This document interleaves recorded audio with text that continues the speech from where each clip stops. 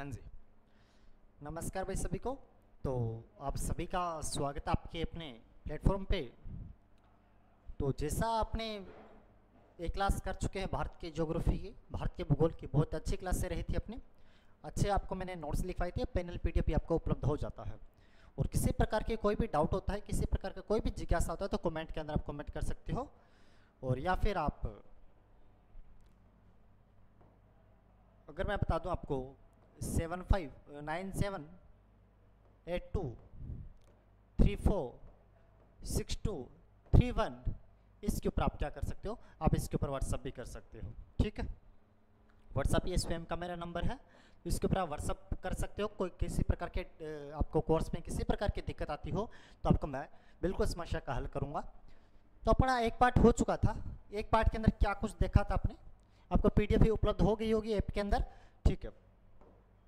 हमने भारत की स्थिति देख ली थी उसके अंदर। क्षेत्रफल देख लिया था कवर किया था। क्षेत्रफल भारत की स्थिति हमने विस्तार देख लिया था। यहाँ तक कुछ अपने कवर कर चुके थे ना। तो आज अपने बात करते हैं राज्य व राजधानियों के ऊपर। इसके ऊपर कॉमन सा ज़्यादा अपने बिल्कुल डीपली बिल्कुल नहीं जाएँगे। जहाँ से कॉमन सा प्रश्न पूछा जाता है, सेम उसी के ऊपर बात करेंगे। फालतू कचरा नहीं पढ़ेंगे जहाँ कॉमन सा प्रश्न बनता वहीं पे ऊपर, इसके ऊपर ही बात करेंगे। ठीक है? तो बात करता हूँ भारत के राज्य व राजधानी। अच्छा। अगर मैं एक कॉमन सी बात कहूँ तो भारत में अगर मैं राज्य की बात करता तो 28 राज्य है। अपने का वापस नहीं जाना, अभी 28 कैसे, उनतीस सुने थे, हमने बेसिक नहीं जाना, वापस नहीं जाना। आपसे नहीं पूछेगा।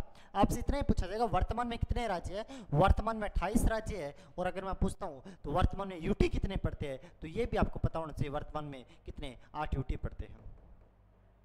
28 राज्य पढ़ते हैं और यूटी कितने पढ़ते हैं? आठ वर्तमान में यूटी पढ़ते हैं। यानी कि केंद्र शासित प्रदेश तो आठ है। अपने मैप के हिसाब से देखें कहाँ कहाँ पे पढ़ते हैं और 28 राज्य कौन कौन से अपने मैप के हिसाब से देखेंगे। इन 28 राज्यों की राजधानी और यहाँ पे यूटी की राजधानी अपने यहाँ से कवर करने की पूरी कोशिश करेंगे। तो इसी के साथ में चलते हैं। तो एक पॉइंट तो पहला तो ये लिख देना कौन सा पॉइंट लिखना आपको?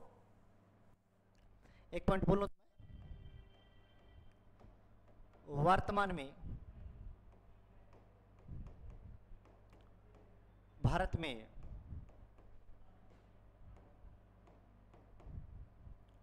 अट्ठाईस राज्य व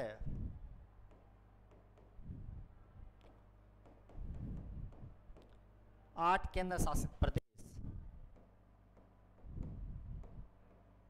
है। ठीक है?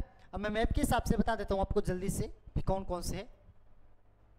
देखो, ये जो पड़ता है, उसे बोलते हैं लद्दाख। ये लद्दाख है। दो तीन मैप भरना प्रैक्टिस करना, बहुत अच्छे से याद हो जाए। ये जो पेप पड़ता है, उसे बोलते हैं जम्मू एंड कश्मीर। ये पड़ता है पंजाब, राजस्थान, पंजाब के जस्ट नीचे। राजस्थान के नीचे पड़ता है गुजरात, फिर पड़ता है महाराष्ट्र। महाराष्ट्र महाराष्ट्र के नीचे पड़ता है। यहाँ पे छोटा सा राज्य जिसके गोवा कहते हैं। गोवा के नीचे पड़ता है कर्नाटक। सबसे नीचे केरल। ये दो या तीन पॉलिटिकल मैप भरोगे तो आपको याद हो जाएगा, बहुत आसानी से याद हो जाते हैं। लद्दाख के जस्ट नीचे पड़ता है, यहाँ पे हिमाचल प्रदेश। हिमाचल। उसके नीचे पड़ता उत्तराखंड। उत्तराखंड पड़ता पंजाब के बगल में यहाँ पे हरियाणा पड़ता है, राजस्थान के बगल में यूपी यूपी के बगल में बिहार। ठीक राजस्थान के इधर नीचे प्रदेश पड़ता है। यहाँ पे मैं छत्तीसगढ़ की बात करता हूँ। इसके केरल के बगल में तमिलनाडु। इसके ऊपर यहाँ पे आंध्र प्रदेश हुआ। आंध्र प्रदेश। इसके ऊपर उड़ीसा यहाँ पे वेस्ट बंगाल, यानी कि पश्चिम बंगाल। पश्चिम बंगाल के जस्ट ऊपर देख रहे हैं, यहाँ पे झारखंड। झारखंड, ठीक? झारखंड के बगल में छत्तीसगढ़, यहाँ पे लंबा सा राज्य छत्तीसगढ़। और यहाँ पे इसकी बात करता हूँ, तेलंगाना। ये आपके कौन से होते हैं? तेलंगाना होते हैं। दो तीन मैप पर ना बहुत सिंपल है, दो तीन मैप पर के देखना बहुत अच्छे से याद हो जाते हैं। जम्मू पंजाब राजस्थान, गुजरात, महाराष्ट्र, गोवा, कर्नाटक, केरल, तमिलनाडु, आंध्र प्रदेश, ओडिशा, पश्चिम बंगाल, बिहार, झारखंड, छत्तीसगढ़, तेलंगाना, एमपी हो गया। इस साइड की बात करता हूँ तो ये छोटे राज्य छोटे राज्य एक अलग मैप से दिखा देता हूँ आपको मैं। छोटे राज्य अलग मैप से आपको दिखा देता हूँ मैं। छोटे राज्य में आपको दिक्कत रहती है, ये आपको समझ नहीं आता थोड़ा सा, ये पता नहीं कैसे होता है। तो अलग मैप से आपको मैं छोटे राज्य एक साइड में दिखा देता हूँ। ध्यान से देखना भाई। ये देखना, इधर। ये देखो, छोटे राज्यों में यहाँ पे पड़ता है सिक्किम। अरुणाचल प्रदेश। इसके जस्ट नीचे पड़ता है नागालैंड। फिर मणिपुर। इसके नीचे मिजोरम। चार सीक्वेंस में है अरुणाचल प्रदेश, नागालैंड, मणिपुर और मिजोरम। इसके बगल में त्रिपुरा। फिर ऊपर चलते थे, यहाँ पे मेघालय। बीच में आता है उसे असम कहा जाता है। तो इस साइड के राज्य आपके कवर होते हैं। इस साइड के राज्य आपके कवर होते हैं। तो आपको पता तो क्या होना चाहिए? पता हमें होना चाहिए भाई इनकी राजधानी। इन सभी की आपको राजधानी पता होनी चाहिए भाई। सभी की क्या पता होनी चाहिए? आपको राजधानी, इन सभी की पता होनी चाहिए। तो मैं राजधानी सभी के, सभी की राजधानी, अपने राज्यों की राजधानी यहाँ पे लिख देता हूँ। तो बहुत अच्छे से आप कवर कर रहे हैं यहाँ से राजधानियों को। राजधानी सभी की लिख देता हूँ मैं।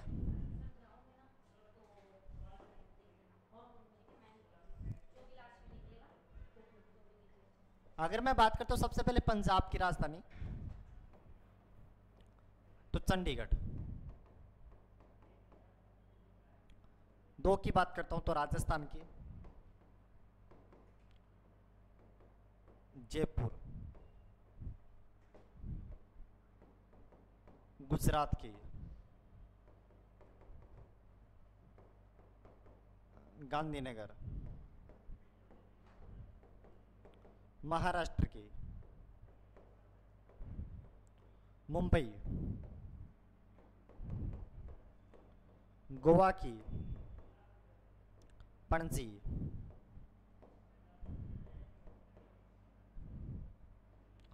कर्नाटक की बात करता हूँ तो। बेंगलुरु।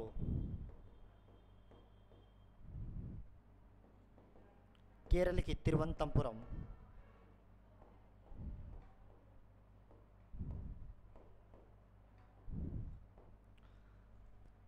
इधर बात करता हूँ आठ पे। तमिलनाडु की चेन्नई।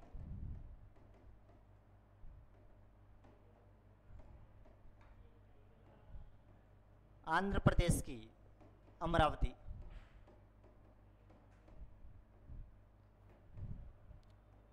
ओडिशा की भुवनेश्वर।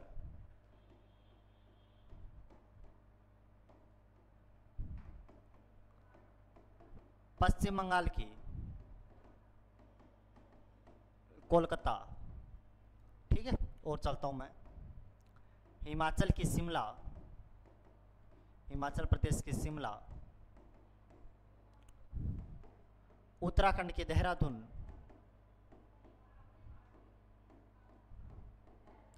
देहरादून। हरियाणा की फिर भी चंडीगढ़ होती है, यह भी आपको पता होना चाहिए, दोनों की एक ही राजधानी है चंडीगढ़। चंडीगढ़। एमपी की भोपाल, यानी कि मध्य प्रदेश की भोपाल।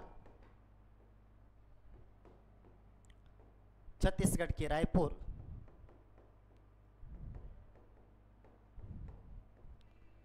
झारखंड की रांची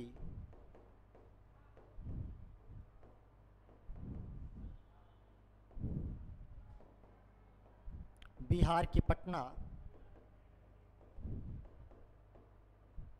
बिहार की पटना यहाँ पे लिख देता हूँ उन्नीस नंबर की यूपी की लखनऊ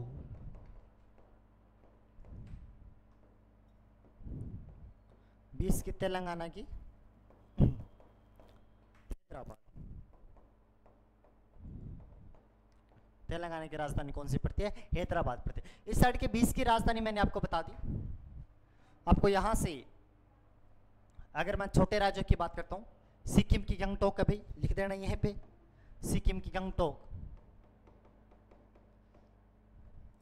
अरुणाचल प्रदेश के ईटानगर ये लिखा हुआ ईटानगर ईटानगर नागालैंड की कोहिमा, मणिपुर की इम्फाल इम्फाल, मिजोरम की आइजोल, त्रिपुरा की अगरतला अगरतला। अच्छा मेघालय की शिलोंग, मेघालय की राजधानी है शिलोंग। और असम की कौन सी पड़ती है? असम की पड़ती है दीसपुर। असम की राजधानी कौन सी पड़ती है? असम की राजधानी पड़ती है दीसपुर। ये आपको यहाँ से राजधानी सभी सभी पता होनी चाहिए, ठीक है? यहाँ तक जब अपना कवर हो जाता है तो हाँ पीछे चलता हूँ मैं।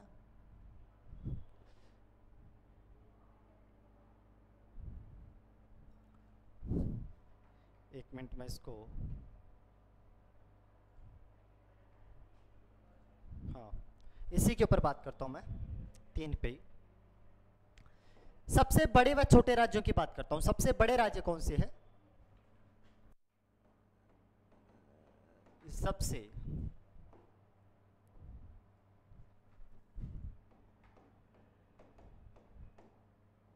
बड़े राज्य एक सबसे बड़े राज्य होते हैं। सबसे छोटे राज्य। सबसे छोटे, छोटा राज्य हो गया। ठीक है। और एक जो होता है, जो लैंड लोकेट कंट्री होता है, जिसकी किसी न तो स्थलीय, किसी देश के साथ में सीमा लगती है, न किसी जल के साथ में सीमा लगती है। तो सबसे बड़े राज्यों की बात करता हूँ तो बड़े राज्यों का एक मैं आपको मैप भी दिखा देता हूँ आपको। पहले लिख लेते हैं, सबसे बड़े राज्यों के जो, सबसे बड़ा राज्य जो है राजस्थान भारत का, वो है राजस्थान। दूसरा सबसे बड़ा जो राज्य पड़ता है, उसको बोलते हैं एमपी मध्य प्रदेश। सबसे छोटा राज्य जो पड़ता है, भारत का, गोवा। दूसरा पड़ता है, उसे बोलते हैं सिक्किम। ये आपको दो सबसे बड़े और दो सबसे छोटे राज्य भारत के बारे में पता होना चाहिए। राजस्थान की बात करता हूँ टोटल दस पॉइंट इकतालीस प्रतिशत हिस्सा रखता भारत का। टोटल दस पॉइंट इकतालीस प्रतिशत हिस्सा रखता है किसका? भारत का। ये आपको यहाँ से पता होना चाहिए। अभी मैं आपको मैप के ऊपर सारी बातें दिखा देता हूँ। मैप के ऊपर ये दिखा देता हूँ आपको मैं। सबसे बड़ा छोटा का सिस्टम कहाँ पे है? सबसे बड़े छोटे का सिस्टम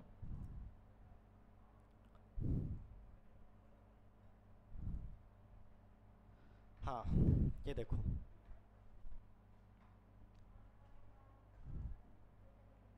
ये देखना भी ये सबसे बड़ा राज्य है राजस्थान।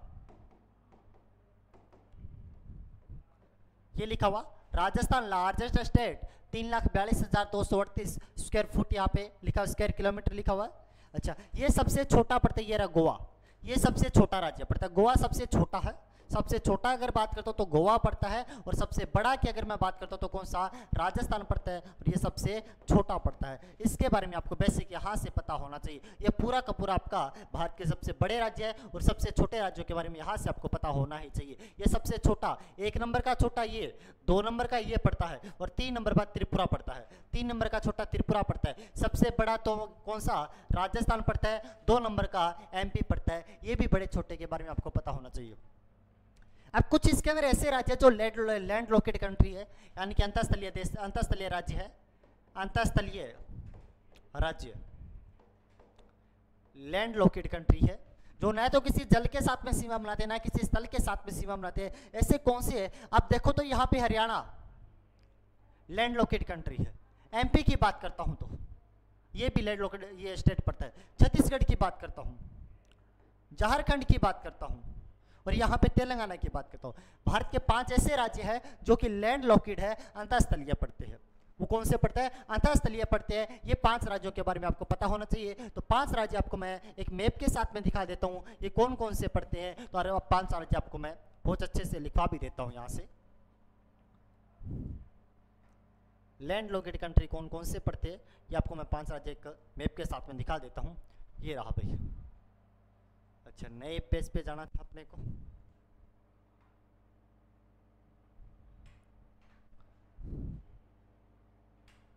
चलो, एक साइड में देख लो, कोई बात नहीं, सारी बातें आगे लिख लेंगे। एक साइड में इसको देख लेते हैं। हाँ। ये देख लो भाई, यहाँ से हरियाणा, मध्य प्रदेश, झारखंड छत्तीसगढ़ और तेलंगाना। ये भारत के पाँच लैंड लोकेटेड कंट्री पड़ती है। Land located state so Bharat के पड़ते हैं ये। आपको पाँच पता होना चाहिए। अब सिंपल इतनी बातें यहाँ पे जो की वो सारी बातें अपने क्रमबद्ध तरीके से यहाँ पे लिख लेते हैं। यानी कि यहाँ पे आना भी तरीके से लिख लेते हैं इन सभी बातों को। भारत का सबसे बड़ा राज्य राजस्थान।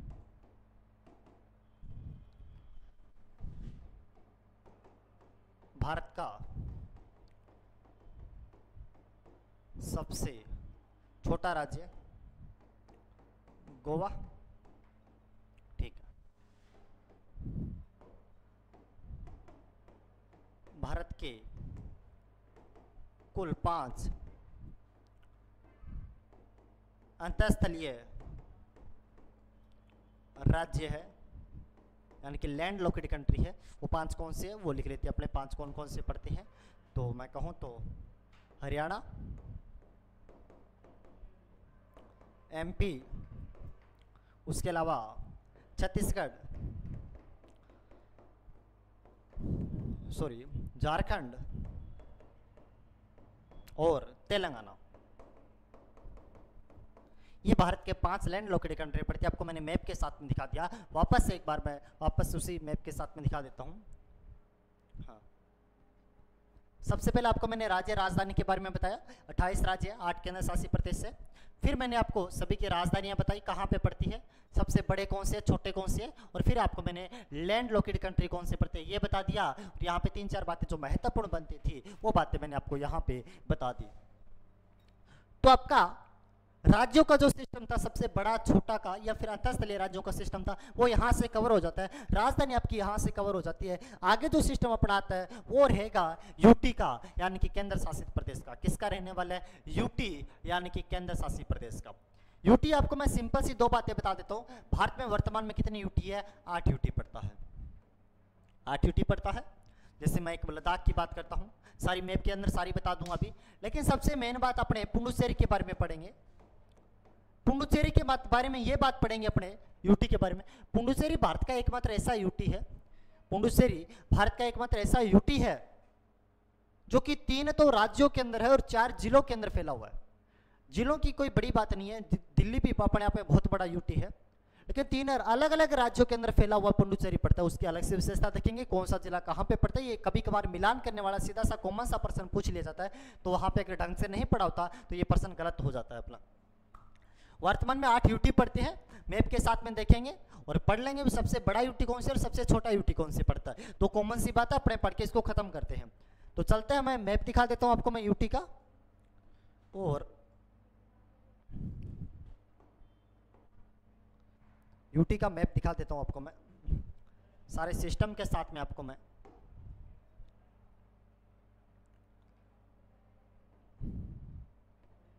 यूटी का मैप।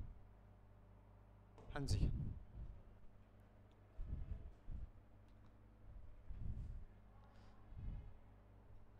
ये रहा। अब इसमें कितने? अच्छा जम्मू एंड कश्मीर, ये लद्दाख लिखना भूल गए भाई, लद्दाख। लद्दाख एक हुआ। जम्मू कश्मीर यहाँ पे दो यूटी हुए। चंडीगढ़ यहाँ पे पड़ता तीन यूटी हुआ। दिल्ली चार यूटी हुआ। दादर नगर हवेली एंड दमन और दीव। पाँच यूटी हुआ, लक्षद्वीप, छह हुआ, पुंडुचेरी, सात हुआ और अंडमान निकोबार कितने आठ यूटी पड़ती है आपको ये बात पता होना चाहिए। अब बड़ा बड़ा बता दूँ, जम्मू कश्मीर तो यही है, लद्दाख भी है चंडीगढ़ जो कि इसकी राजधानी पड़ती है, पंजाब हरियाणा की राजधानी पड़ती है। दिल्ली की बात करता हूँ तो हरियाणा व यूपी के मध्य दिल्ली पड़ता है। हरियाणा व यूपी के मध्य क्या पड़ता है? तो दिल्ली पड़ता है। दादर नागर हवेली व दमन और दीव की बात करता हूँ। तो ये, दीव तो ये पड़ता है यहाँ पे। ये तो दीव है। यहाँ पे दमन है। और यहाँ पे गुजरात के साइड में पड़ता है दादर।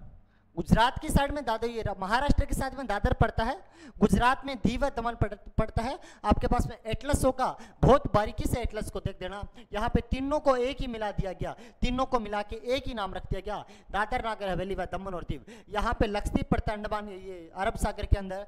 बंगाल की खाड़ी में अंडमान निकोबार द्वीप पड़ता है, और यहाँ पे पुंडुचेरी पड़ता है। पुंडुचेरी देखो, इसके चार ज़िले हैं। एक तो इसका जिला पड़ता है यहाँ पे। आंध्र प्रदेश में, यनम। एक इसका जिला पड़ता है माहे, जो केरल में पड़ता है। दो इसके ज़िले तमिलनाडु में पड़ता है, एक तो पुंडुचेरी खुद होता है एक कराईकल क्राइकल ये आपको मिलान करने वाले पर्सन ऐसे पूछे जा सकते हैं, यनम जिला पुंडुचेरी का कहाँ पे है? क्राइकल जिला पुंडुचेरी का कहाँ पे तमिलनाडु के अंदर है।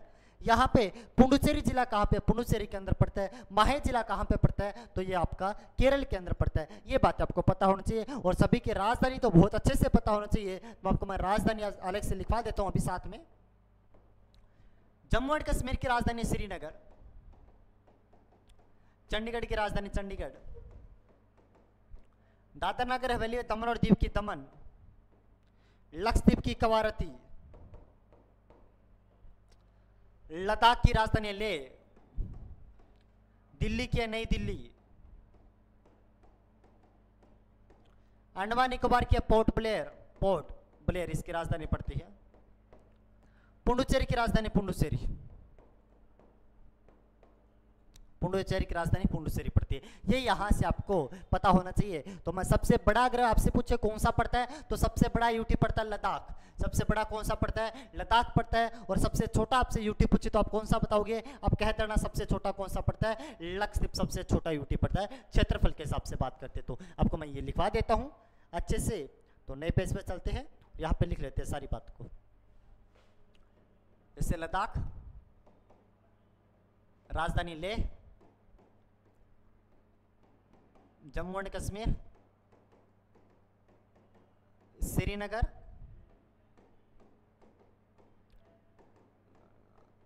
दिल्ली की नई दिल्ली, चंडीगढ़ की चंडीगढ़, पुंडुचेरी की पुंडुचेरी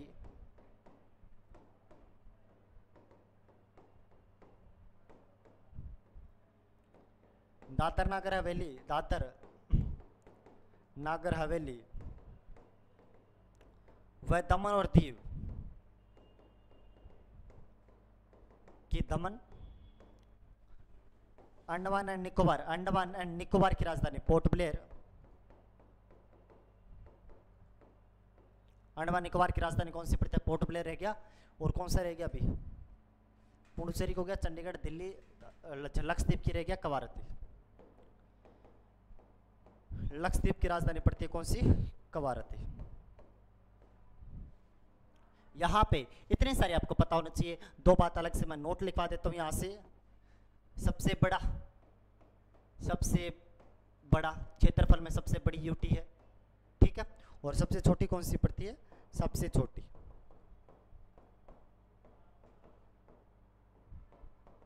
क्षेत्रफल में।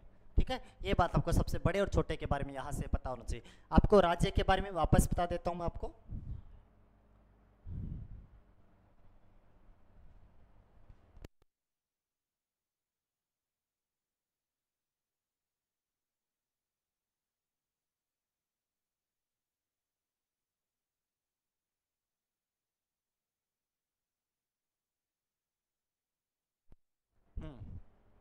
राजधानी यहाँ से कवर करवा दी मैंने, आपको इतने बता दिए कितने पढ़ते हैं। और राजधानी सारी लिखवाई मैंने, बड़े छोटे के बारे में, मैप के अंदर आपको मैंने बताया था। अच्छा सबसे बड़े छोटे के बारे में ज़िक्र किया, इसके अलावा यूटी के बारे में ज़िक्र करता हूँ। फिर मैं यूटी के बारे में जो विशेष था वो लिखवाया, और अभी आगे चलते अपने किसके बारे में, कर्क रेखा के बारे में। किसके बारे में बात करते हैं? कर्क रेखा के बारे में अभी अपने ज़िक्र करते हैं। कर्क रेखा।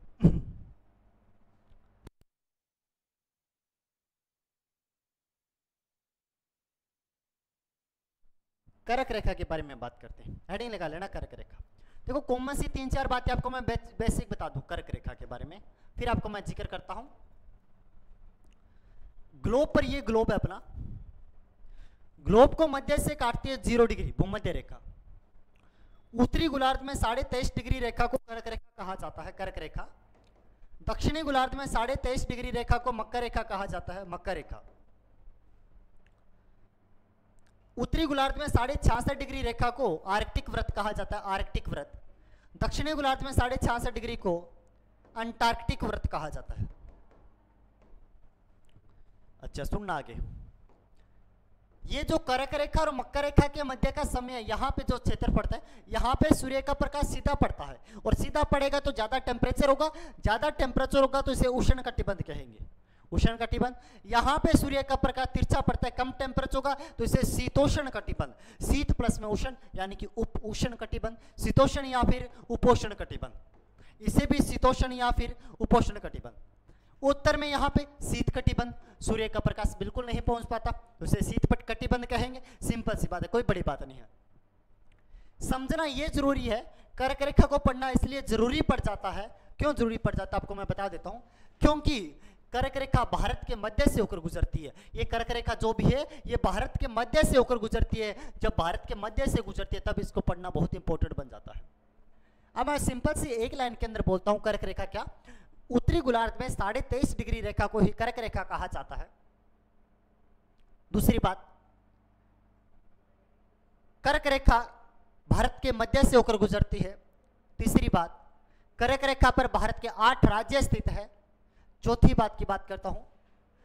करक रेखा भारत को दो जलवायु कटिबंध में बांटती है।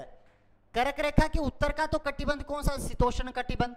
और इसके नीचे का कटिबंध कौन सा पड़ता है? उष्ण कटिबंध पड़ता है। ये इतनी, इतनी बातें आपको करक रेखा के बारे में पता होना चाहिए। तो मैप के अंदर दिखा देता हूँ भी कहाँ से कर्क रेखा गुजरती है और कौन से आठ राज्यों से कर्क रेखा गुजरती है। ये बात भी आपको यहाँ से पता होनी चाहिए। मैं आपको मैप के साथ में बात करता हूँ। आपको दिमाग में छप भी जाएगा भी ऐसे कुछ पढ़ा जाता है। इस अच्छे तरीके से पढ़ा जाता है। तो कर्क रेखा दिखानी है आपको? हाँ ये देखो भी कर्क रेखा।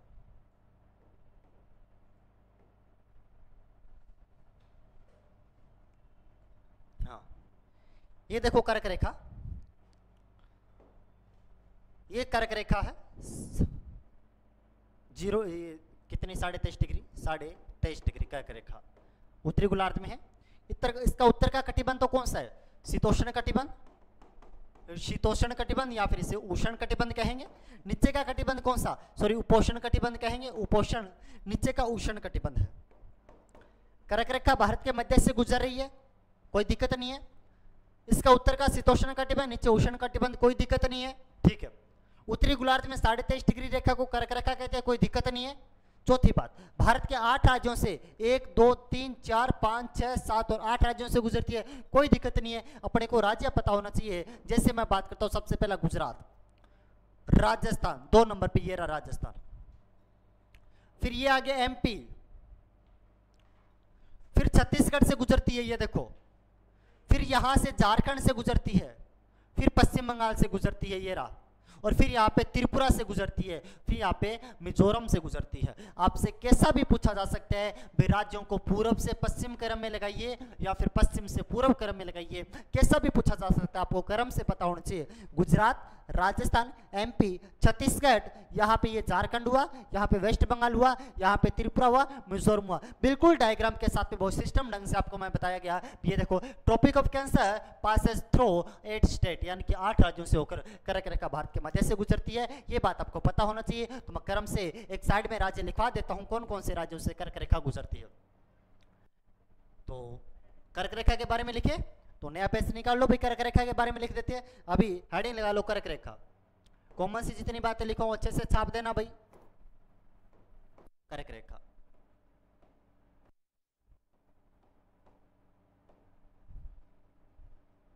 है ना? बहुत अच्छे तरीके से अपने लिख लेते हैं। कभी नहीं भूलोगे आप, पहला पॉइंट लिखना उत्तरी गोलार्ध में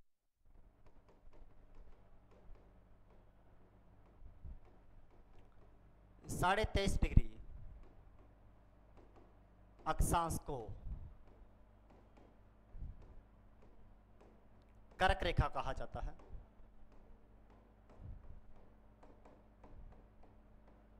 दूसरा पॉइंट लिखना।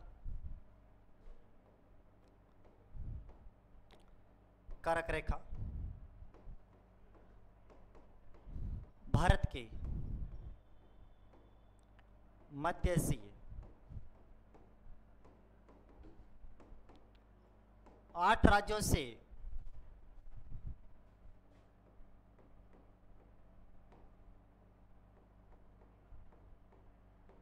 होकर गुजरती है। तीसरा पॉइंट लिखना। कर्क रेखा। भारत को दो कटिबंध में बांटती है।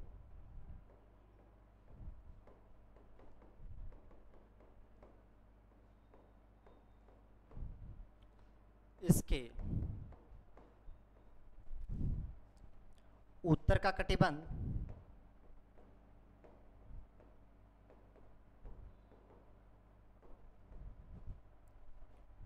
कौन सा होगा? अभी बताया था मैंने आपको, शीतोषण। शीतोषण। या फिर मैं इसे उपोषण बोल सकता हूँ, कोई दिक्कत नहीं है। उपोषण। तथा दक्षिण का कटिबंध।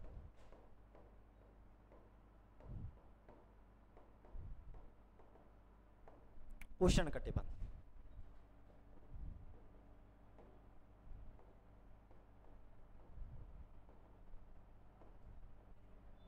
दक्षिण का कौन सा कटिबंध होता है? उष्ण कटिबंध होता है। अब आठ राज्य कौन से पड़ते हैं? अब आठ राज्यों को क्रम से लिखवा देता हूँ मैं। क्रम से आठ राज्य है कौन से? लिख लेना भाई। एक तो मैं गुजरात, राजस्थान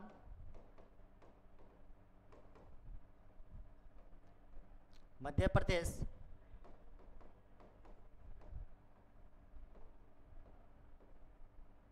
छत्तीसगढ़ झारखंड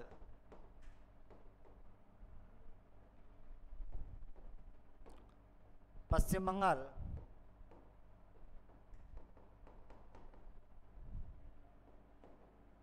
त्रिपुरा और एक मिजोरम क्रम से लिखवाया भी आपको मैंने? मिज़ोर। और मैंने आपको इस सिस्टम के साथ में लिखवाया है। यानी कि पश्चिम से पूर्व की ओर लिखवाई आपको मैंने। ठीक है? आपको कोई भी कैसे भी पूछे, आप कैसे भी बता सकते हो। अच्छा दो बातें और यहाँ पे मैं नोट करवा देता हूँ। क्रैक रेखा पे सबसे बड़ा और छोटा तो आपको पता ही है। त्रिपुरा। और कर्क रेखा के बिल्कुल ऊपर राजधानी जिसकी स्थित है रांची। ये कर्क रेखा के बिल्कुल ऊपर स्थित है।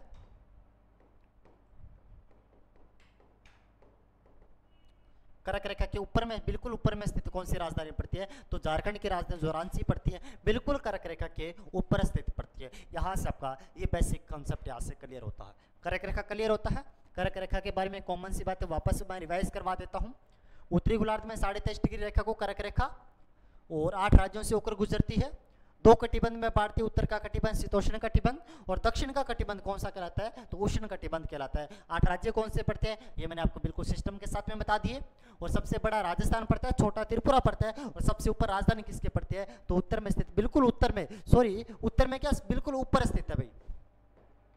बिल्कुल, जैसे ये करके रखा तो बिल्कुल ऊपर में स्थित राजधानी कौन सी पड़ती है? रांची इसकी बिल्कुल ऊपर में से राजधानी पड़ती है। किसी प्रकार का आपको कोई भी डाउट यहाँ से नहीं होना चाहिए। और आपको जैसे ही यहाँ से टॉपिक कंप्लीट हो जाता है, आपको मैं 200 एमसीक्यू क्वेश्चन दूँगा।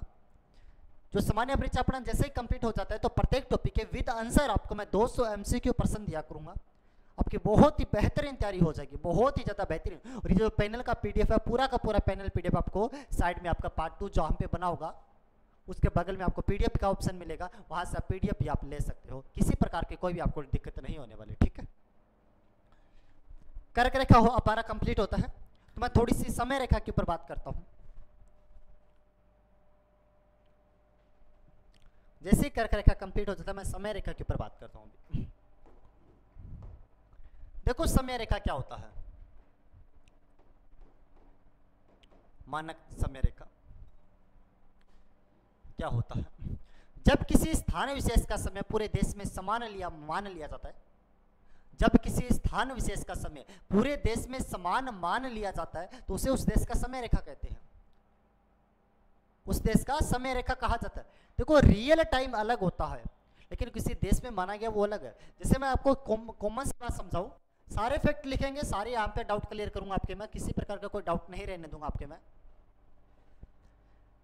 देखो, भारत का जैसे आपने कहीं ना कहीं पढ़ के आए हो, आप बिल्कुल बच्चे भी नहीं हो, कहीं से अच्छे से पढ़ के आए हो, भारत का जो मानक समय है वो साढ़े बयासी डिग्री है। पूर्वी देशांतर है। ठीक है? और जो भारत का समय साढ़े पाँच घंटे आ गया नहीं पढ़ा तो मैं आपकी सारे सिस्टम बताऊँगा भी कैसे है। एक बार समझा रहा हूँ मैं। भारत का मानक समय साढ़े बयासी से निर्धारित किया जाता है। यहाँ से लिया जाता है। लेकिन अगर मैं गुजरात की बात करता हूँ, गुजरात का रियल टाइम अलग होगा भाई। जीएमटी से इसका रियल टाइम अलग होगा। अरुणाचल प्रदेश का जीएमटी से अलग रियल टाइम होगा। लेकिन अपने भारत के हिसाब से चलना पड़ेगा तो साढ़े बयासी होगा। रियल टाइम किसी लोकेशन का अलग हो सकता है, लेकिन उस देश का, उस देश की सरकार, उस देश का जो सबसे बड़ी संविधान होता है, जो जिस समय रेखा को मानता अपने को उसी देश को उसी के हिसाब से चलना पड़ता है। गुजरात का समय रेखा अलग हो सकती है, अरुणाचल प्रदेश की अलग हो सकती है, लेकिन भारत सरकार साढ़े बयासी को फॉलो करती है तो अपने को साढ़े बयासी ही देश में मानना पड़ेगा।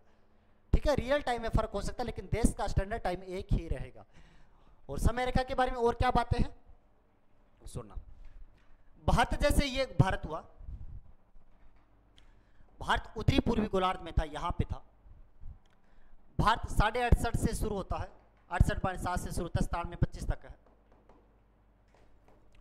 ज़ीरो डिग्री जो रेखा जीएमटी रेखा जिसे कहा जाता है ग्रीनविच रेखा जिसे कहा जाता है, लंदन के ग्रीनविच शहर से होकर गुजरती है। जब इस साइड में जाएँगे तो प्लस होता है। टाइम में बढ़ता है।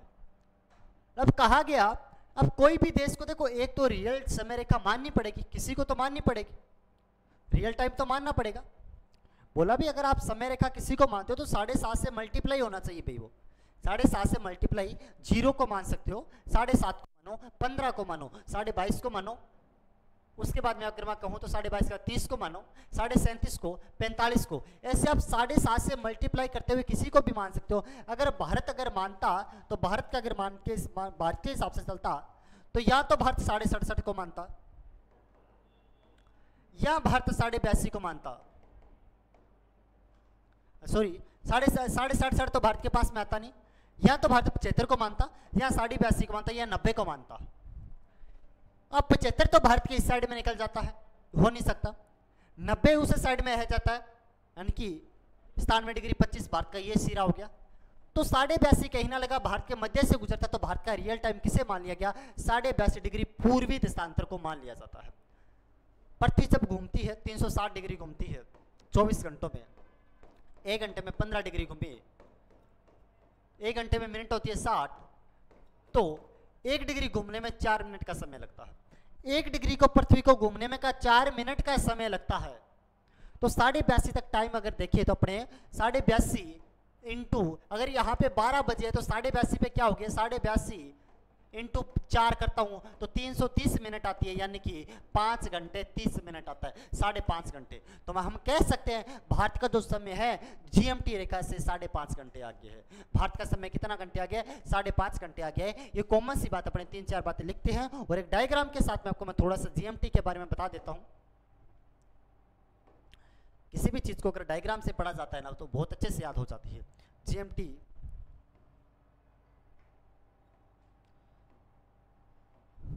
किधर गया जीएमटी जीएमटी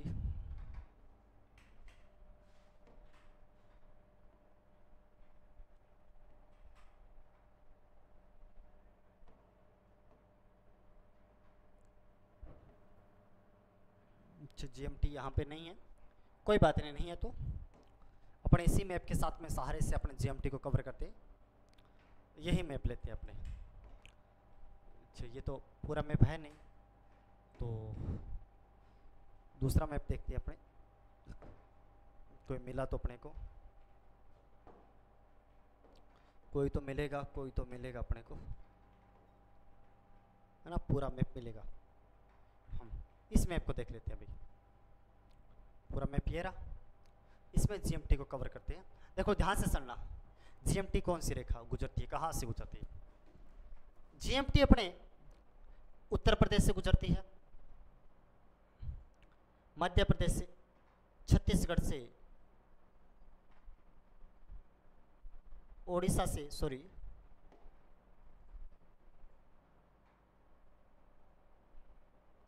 ये आपकी जीएमटी रेखा गुजरती है। सॉरी भारत की मानक समय रेखा, भारत की मानक से मैं कह सकता हूँ, साढ़े बयासी डिग्री। पाँच राज्यों से होकर गुजरती है, जैसे यूपी हुआ, यहाँ पे एमपी हुआ छत्तीसगढ़ हुआ उड़ीसा हुआ और आंध्र प्रदेश हुआ। साढ़े बयासी डिग्री पूर्वी देशांतर को भारत का समय रेखा कहा जाता है। भारत का समय जीएमटी रेखे से साढ़े पाँच घंटे आगे तीसरी बात जीएमटी भारत के सॉरी जो ग्रीनविच रेखा, भारत की समय रेखा भारत के पाँच राज्यों से होकर गुजरती है। यूपी एमपी छत्तीसगढ़, ओडिशा और आंध्र प्रदेश से गुजरती है। चौथी बात जीएमटी उत्तर प्रदेश के इलाहाबाद, यानी कि मिर्जापुर के निकट से होकर गुजरती है। अगर बड़ा औद्योगिक क्षेत्र की बात करते हो तो नैनी स्थान पड़ता है वहाँ पे आप एनसीआरटी में देखोगे तो नैनी स्थान से होकर यहाँ से आपकी जीएमटी गुजरती है। फिर मैं बात करता हूँ। भारत के देशांतरों में 30 देशांतरों का फ़र्क है। तो यहाँ से लेकर यहाँ तक भारत के अगर मैं टाइम में फ़र्क देखता तो दो घंटे का फ़र्क है। अगर यहाँ पे पाँच बजे सूर्योदय होता है तो यहाँ पे सात बजे होगा। भारत के पूर्वी छोर से पश्चिमी छोर में जो अंतर पड़ता है देखने को मिलता है, वो कितने का? दो घंटे का अंतर अपने को यहाँ से देखने को मिलता है। ये आपकी मानक समय रेखा आपको मैं क्रमबद्ध तरीके से लिखवा देता हूँ। अगर मैं लिखवाऊं तो आपको कौन सी बातें याद रखनी है? फालतू बातें आपको यहाँ से नहीं पढ़ना, सिर्फ़ जो मैं लिखवाता हूँ, वही बात पढ़ लेना।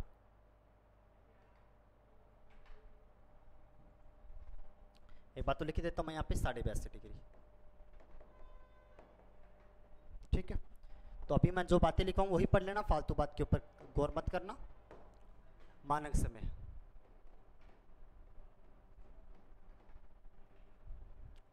पहला पॉइंट लिखना।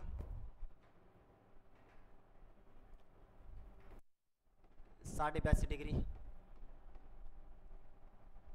पूर्वी देशांतर। को भारत का मानक समय।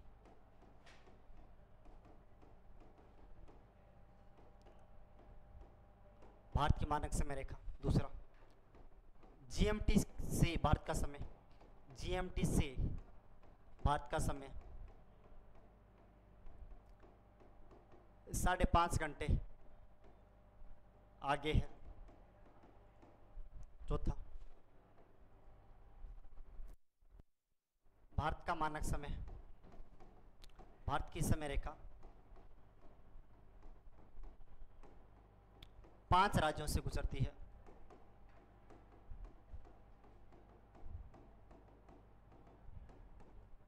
कौन कौन से?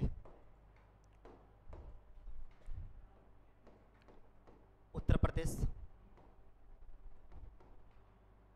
एमपी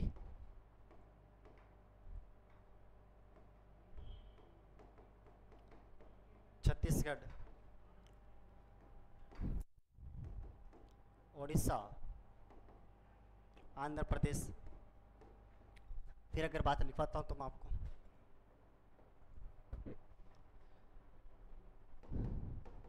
मानक समय रेखा यूपी के इलाहाबाद के निकट।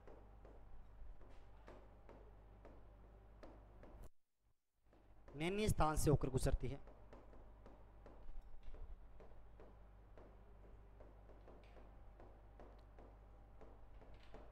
चौथी बात। भारत के पूर्वी व पश्चिमी छोर में